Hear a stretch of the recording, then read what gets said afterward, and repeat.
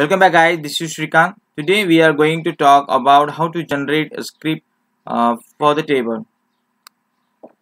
Okay, for the demonstration purpose, I am going to create one table.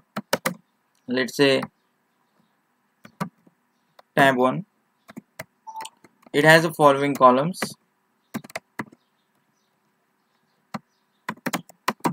Int, it's an identity then name? varchar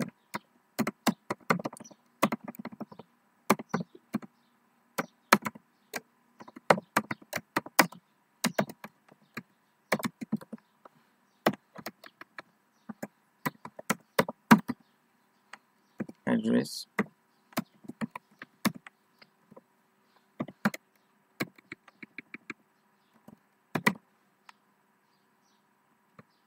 you can make it as an int. Great. So this is the table. This table is having 3 and plus 1 that's a 4 column. Now I'm going to create this table. After some time you might have a requirement that you want to create a clone of this table. You can simply create a clone by just using the select star into table like this.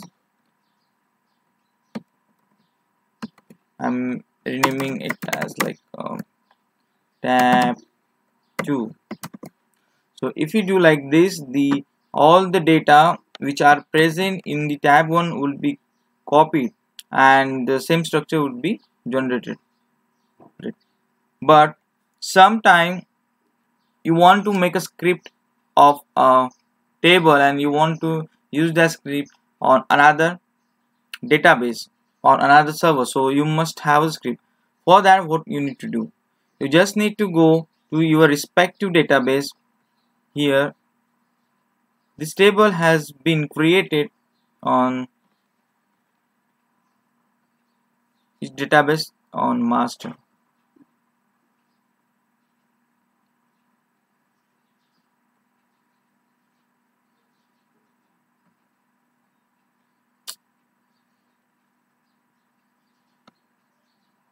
right? Master. So what you need to do so when you do work on your system don't create anything on a master table master database basically you know right? Whatever you do create on a master database all things would be created automatically when you create a new database right?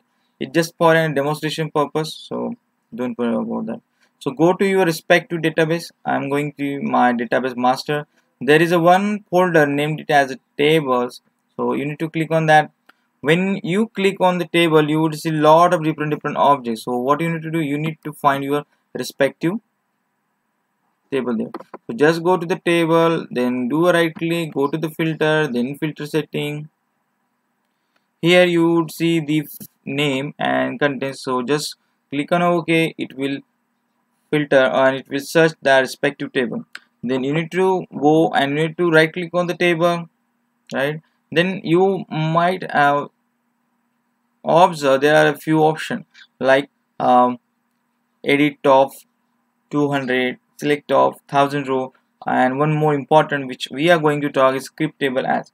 So in the script table as when you click on the script table as you would see different different options like the creates to drop to drop and create select. So these are different different script which can be generated. So here we are just going to go click on create to and then clipboard so when you say I copied it on a clipboard it means that the table script has been copied to our clipboard. Just go to the new tab and paste it there. So you will observe here the script which we have just created has automatically been copied right? Now this table are just having four column. When you work on a real-time system or when you do work on a denormalized table you might have more than 150 or 200 columns right? So in that case out of 200 column if you want to create a clone and if you want to modify those column you need all the column list and data type all those things. So the best way is to go and is to take a script from the uh, tables object and work on that so that this table script can be utilized on multiple uh, databases when you do go for the UAT or the testing right? So this is the simplest way how you can create or generate the script from existing object. Also I talk about how we can simply more simply move the table data from one table to another table right with just an select clause hope you guys understood and enjoyed our video. If you like please don't forget to share and subscribe with your friend and thanks for watching